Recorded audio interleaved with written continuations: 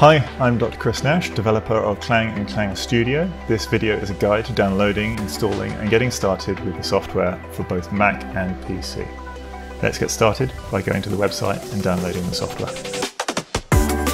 Go to nash.audio forward slash Klang and click the More Info Download button under Klang Studio.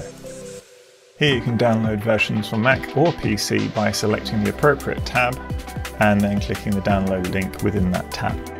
For Windows, the download is completely self-contained with all the tools you'll need, including the compiler, editor, and the full Klang language. Just click the link, extract the zip file, and then run the klangstudio.exe program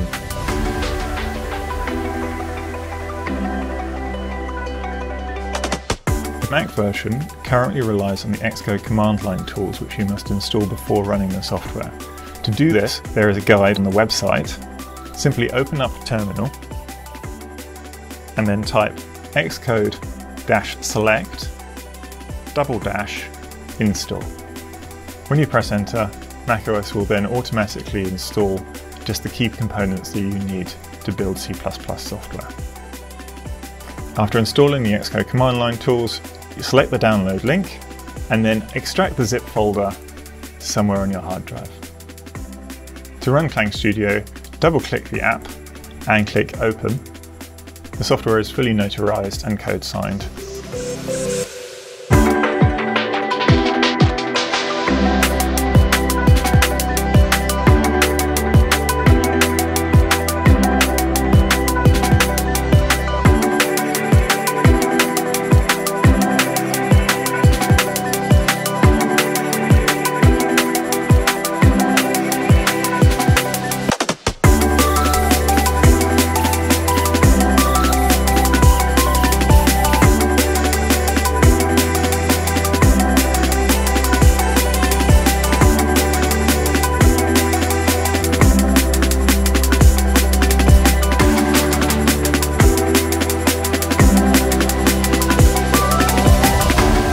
Hopefully that's straightforward enough and gets you up and running. If you have any problems or questions, drop a comment below and I'll try to answer them.